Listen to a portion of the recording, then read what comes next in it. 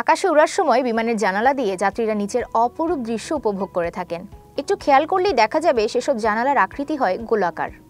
অথচ আমরা বাড়িঘর, কারখানা, অফিস থেকে শুরু করে বাস, ট্রাক কিংবা ব্যক্তিগত গাড়ি সব কিছুতেই চতুর্ভুজ আকৃতি জানালা ব্যবহার করে থাকি। তবে এটি শুধু শখের বসে কিংবা সুন্দর ডিজাইনের জন্য তৈরি করা হয়নি। এর পেছনে রয়েছে বৈজ্ঞানিক যুক্তি। উড়োজাহাজের জানালা গোল হওয়ার অন্যতম প্রধান কারণ হলো নিরাপত্তা। এটি গোল না হলে সবসময় দুর্ঘটনা ঘটার আশঙ্কা থেকে যায়। চতুর্ভুজ আকৃতির জানালায় চারটি কোণ থাকে। বিমান আকাশে ওড়ার সময় অন্যান্য অংশের তুলনায় এসব কোণে বাতাসের চাপ একটু বেশিই পড়ে। কোনো কারণে চাপের পরিমাণ অতিরিক্ত হয়ে গেলে জানালার কাচের কোণগুলোর পক্ষে তা ধরে রাখা সম্ভব হয় না। ফলে জানালা ভেঙে গিয়ে বড় ধরনের দুর্ঘটনা ঘটার আশঙ্কা থেকে যায়। কিন্তু গোলাকৃতি জানালা ব্যবহার করে সহজেই এই সমস্যা এড়ানো যায়। কারণ আকৃতি গোল হলে কোনো নির্দিষ্ট জায়গায় বেশি চাপ না পড়ে পুরো অংশে সমানভাবে তা ছড়িয়ে যায়। এতে জানালায় অতিরিক্ত চাপ পড়ে না। মজার ব্যাপার হলো, রাইট ভ্রাতাদের আবিষ্কার করা উড়োজাহাজে কোনো জানালাই ছিল না। এরপর জানালা যুক্ত করা হলে উনিশশো তিপ্পান্ন সাল পর্যন্ত সেগুলো চারকোনায় ছিল। সে বছরই এক মর্মান্তিক দুর্ঘটনার পর বিজ্ঞানীরা আকৃতি পরিবর্তন করতে বাধ্য হন।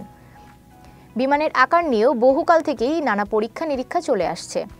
বর্তমানে যে ধরনের বিমান আমরা দেখতে পাই, তার প্রচলন শুরু হয়েছিল উনিশশো পঞ্চাশ সাল থেকে। সেই সময় জানালার আকৃতি ছিল বর্গাকার, কিন্তু শুধু এই কারণেই উনিশশো সালে মাঝ আকাশে ভেঙে পড়েছিল দুটি বিমান। মৃত্যু হয়েছিল ছাপ্পান্ন জন আরোহীর।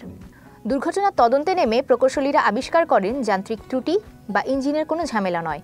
দুর্ঘটনার মূল কারণ হলো বর্গাকার জানালাগুলো। তাই ইঞ্জিনিয়ার নাইট নিয়ে গবেষণা শুরু করেন এবং ফলস্বরূপ আকৃতি গোলাকার করে ফেলেন। এরপর থেকে আজ পর্যন্ত এই ধরনের কোনো দুর্ঘটনার রেকর্ড পাওয়া যায়নি। একটু লক্ষ্য করলেই দেখতে পারবেন, আকাশ দিয়ে বিমান উড়ে গেলেও সেটির ছায়া কখনোই মাটিতে পাওয়া যায় না। এর মূল কারণ বিমানের আকার এবং উচ্চতা। তবে ছায়া যে ঠিক পড়ে না, তা নয়। আমরা সেটি দেখতে পাই না। কারণ অনেক বেশি উচ্চতা দিয়ে যখন তুলনামূলক ছোট আকারের বিমান উঠতে থাকে, তখন এর ছায়া পড়া অঞ্চল পুনরায় সূর্যের আলোতে আলোকিত হয়ে ওঠে। অনেক সময় ভূমিতে সেই ছায়া না পড়লেও মেঘের উপরে ঠিকই তা দেখতে পাওয়া যায়। কারণ ভূপৃষ্ঠ থেকে উচ্চতা অনেক বেশি হলেও মেঘ আর বিমানের মধ্যকার দূরত্ব থাকে অনেক কম।